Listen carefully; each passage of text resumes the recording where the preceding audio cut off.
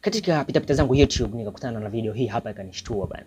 Hii video imetengenezwa na watu wa huku Amerika na watu walio comment wengi nimeona ni watu wa Amerika. Katika comment zote ambazo zinazitizama mimi, sijaangalia zote, lakini katika comment nilizozitizama mimi zote nilizozitizama, ah, nimeona walio comment wengi ni watu wa huku ambao wanaongea Kiingereza. Basi katika kusoma zile comments pale, nilikuwa naendelea kuitizama video ile, lakini niko nasikiliza, lakini sijaimaliza bado. Nilikuwa nasoma zile comment, naona zile comment ni comment yani zinaonyesha kwamba zinashangaa, zinashtuka, zinaona kitu cha ajabu kweli kweli, yani zile comment yani zimeshtuka kwelikweli, kweli, zimeshtushwa. Nikarudi kuitizama ile video vizuri. Ile video inazungumzia giant, inazungumzia kiumbe cha ajabu kama unavyoona wewe katika television hii hapa. Yani ni mtu mkubwa sana kupita maelezo, yuko kando pembezoni mwa bahari tunavyoona hapa. Huyu ni mtu mkubwa sana kupita maelezo. Sasa mimi nilivyotizama nafahamu kabisa kila kitu. Kwa hiyo nilivyotizama mimi kataka nijue labda hichi kiumbe amekitengenezaje.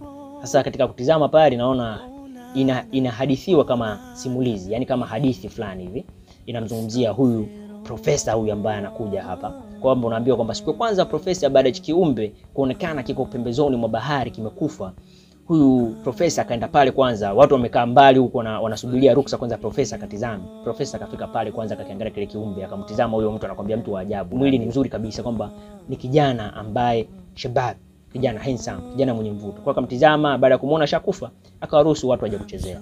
Basi watu wakaja kumchezea yule mtu kwa sababu ashakufa. Basi yule profesa akaondoka. Siku ya kwanza hiyo. Siku ya pili yule yule, yule profesa kanakuja mara kwa mara kumwangalia yule mtu yule kile kiumbe cha ajabu kile ambacho kimelala pale, ni mtu naambiwa huyo bonge la mtu kweli kweli, kama unavyotizama kwenye TV. Akaona kuja mara kwa mara mara kwa mara, anakuta yule mtu anazidi kubadilika, yani kama vile anaoza tayari, anaharibika. Anakuja ameanza kuharibika, ameanza kuchakaa chakaa, amechakaa chakaa, amechakaa chakaa. Siku na siku anakuja anakuta kichwa kimetoka, sijui maana kuta mkono umetoka, maana kuta mguu umetoka. Kwa hiyo kile kiumbe kiko kimeliwaliwa na ndege. Hii story kama ukisikiliza utakuja kusema labda ni story fulani hivi ambayo ilitokea kweli, lakini hii sio story ilitokea kweli. Kama umetengeneza story kwa mfumo wa kutengeneza tu ili kumfunza mtu sawa, lakini sio kwamba ni story ya kweli. Hapana, hichi kiumbe hakiwezi kutokea. Huyu mtu wa hivi hawezi kupatikana duniani. Eti mtu bonge la mtu kama hili alipo duniani, hicho kitu hakipo, labda kwa enzi zile, lakini sio kwa enzi za sasa hivi. Sasa hivi hichi kiumbe hakipo. Kwa hiyo hii ni video ambayo imetengenezwa kabisa. Hili janti limetengenezwa uh, kwa kutumia software yani imetengenezwa kutumia software zikatengenezwa katika mfumo wa 3D ikawekwa hapo vizuri, basi watu wakaigiza kama filamu kwa kutumia background za green screen na vitu vingine hivyo kama hivyo hapo.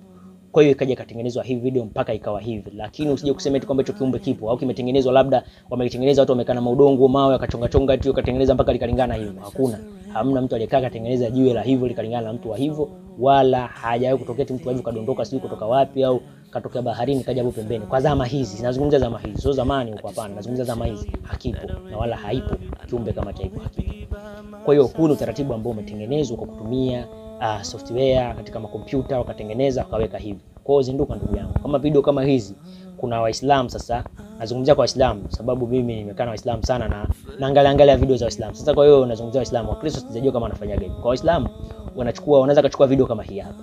Wakaweka sauti ya Qur'an au wakaweka sauti ya mawaidha kuonesha kwamba hili tukio linatisha kweli, Mwenyezi Mungu ni mkubwa kweli kwa kuleta kiumbe kama hichi hapa, alafu watu wakazisambaza katika ma, ma, nani mapande ya TikTok huko, katika mapande ya YouTube, katika mapande ya Instagram, katika mapande ya WhatsApp na katika mapande ya Facebook, sehemu mbalimbali wakasambaza sana kipande kama hiki hapa. Ndugu zangu, naomba muwe makini sana katika upande wa kuweka vile vipande vya Qur'ani au mawaidha kwa kuchukua vitu kama hivi hapo Bora uchukue kabisa, unajua kabisa huu ni uongo, lakini usichukue kama unajua ni ukweli kwamba umeshtuka ule unaona miujiza Mwenyezi Mungu. Hapana, tuache utani, tuache utani. Kwa hiyo zinduka, huo si ukweli, ni video zinazotengenezwa. Shukrani sana.